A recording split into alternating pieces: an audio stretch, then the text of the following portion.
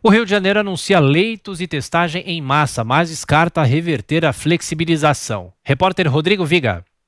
O estado do Rio de Janeiro vai abrir cerca de 400 novos leitos para pacientes com Covid-19 e reativar um hospital de campanha para enfrentar o aumento no número de casos e internações que vem ocorrendo nos últimos dias. O governador uh, do estado em exercício, Cláudio Castro, anunciou nesta terça-feira, antes de uma reunião com prefeitos para pedir esforço e empenho no combate ao avanço da Covid-19 aqui no estado, que o Rio de Janeiro fará também testes em massa e exames eh, de imagem em grande, em larga escala, para evitar uma pressão sobre a rede de saúde.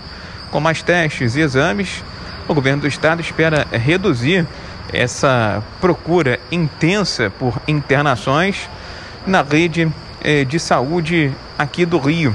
Os hospitais públicos e privados do Rio de Janeiro têm operado com taxas de ocupação elevadíssimas, acima dos 90%. Em meio ao avanço da Covid-19 por aqui, o Estado decidiu também reativar o hospital de campanha de Nova Iguaçu, na Baixada Fluminense. Cláudio Castro admitiu que a situação é preocupante, mas ele não acredita que o Rio de Janeiro já esteja vivendo uma nova onda, uma segunda onda do coronavírus. O governador atribuiu até as eleições municipais, com atos e campanhas eh, de políticos, como possíveis causas para esse aumento nos casos da doença no estado. Nós, nós não podemos ser irresponsáveis e colocar o Rio de Janeiro como, como segunda onda. Tivemos uma grande flexibilização e tivemos também a questão das eleições municipais que podem ter sido preponderantes para esse, esse aumento que vivemos aqui. Então temos que ter muita calma, muita responsabilidade.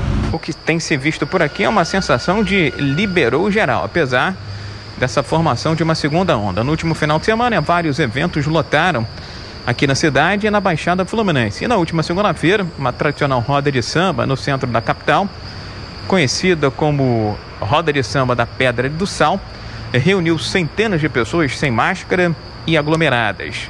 O governador do estado prometeu ainda maior fiscalização em cima desses eventos com aglomerações. Na última segunda-feira, Ministério da Saúde, secretarias estadual e municipal de saúde já tinham anunciado a abertura de mais de 214 leitos para pacientes com Covid-19, além da suspensão de cirurgias eletivas a partir do dia 7 de dezembro. Possíveis novas mudanças podem ocorrer daqui a 15 dias, mas por enquanto o governo do estado do Rio de Janeiro não trabalha com a possibilidade de recuar na flexibilização. Do Rio de Janeiro, Rodrigo Viega.